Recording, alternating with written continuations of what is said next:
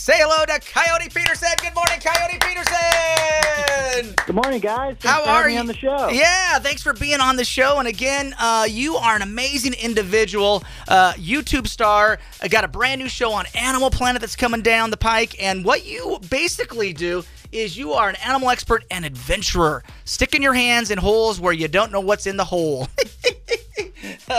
Well, that usually always lends to something rather interesting, and people want to see what's going to happen. So that's how we kind of get it to work out. I want I want to see how it's going to happen. So, uh, you know, how did you get started? I guess is the the first question we got to ask you. How did you? I mean, you love animals. How did that become your lifelong pursuit?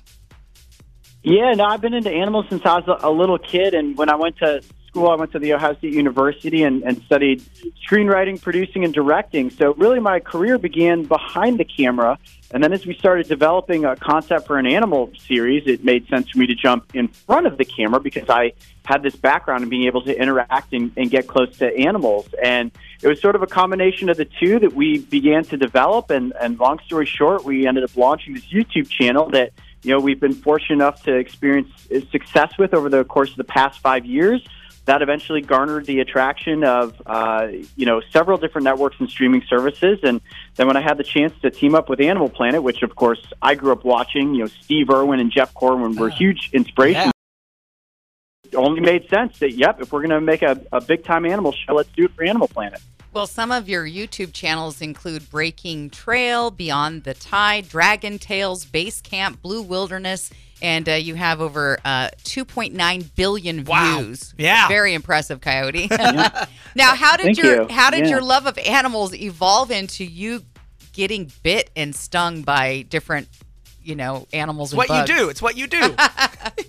Yeah, that- you know that's that's one of those weird twists of the story because you know as a wildlife presenter, you need to be good at not being bitten and stung by things, Yeah. which I'm I've actually perfected over the years.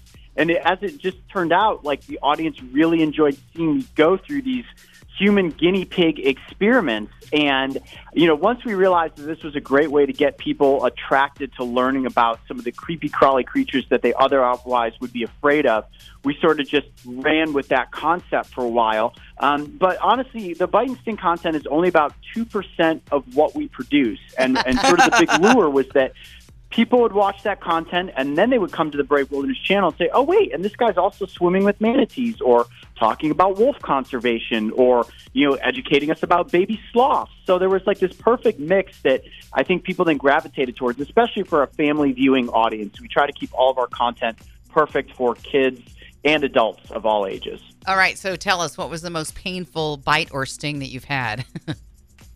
Uh, so bites and stings are both very different from each other, and the Okay. most painful sting I've ever taken was uh, from something called an executioner wasp, Oh. and the most painful bite was actually an unintentional bite that came from the only venomous lizard in the United States, which is called a Gila monster. Oh. so Oh, yeah, I've both got- scenarios were not good days for coyotes. wow. Well, we, we love what you do, and we're very excited about the debut of Brave the Wild. It premieres this Sunday on Animal Planet. Tell us how that show came about, and aren't you traveling to like exotic locations and stuff like that? Yeah, so season one of Brave the Wild filmed in Australia, South America, and the United States. And the first season features over 79 different species of animals. And this is really about telling a larger narrative and the true story about creatures you knew very little about. Maybe it was something you were afraid of, maybe it's something that's surrounded in folklore and mystery. Um, and we really dug into the backgrounds of these stories and showed you how they exist within their environments, why they're considered top apex predators, or in some instances, why certain species need uh, the support of conservation efforts. So the whole season itself combines all these different elements of action, adventure, danger, conservation, education. Um, it's it's about as robust a first season for a TV show as I think we could have made. And Coyote, do you have any commentary? What's it going to take? You know, with Australia's historic um, fires they had, it affected a lot of the wildlife there.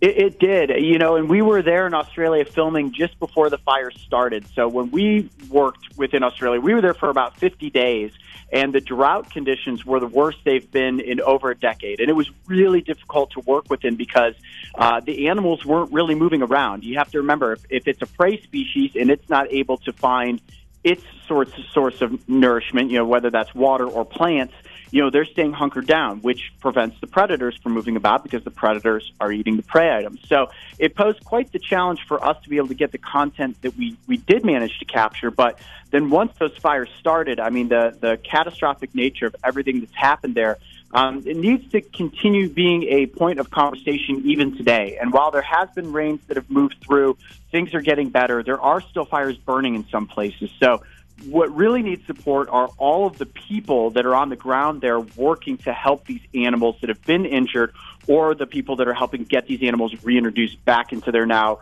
you know, sort of fire torn environments. But, you know, with this process, it is a natural thing. It's just never been this bad before. So hopefully the environments and the species will, will recuperate, but it's, it's going to take some serious time.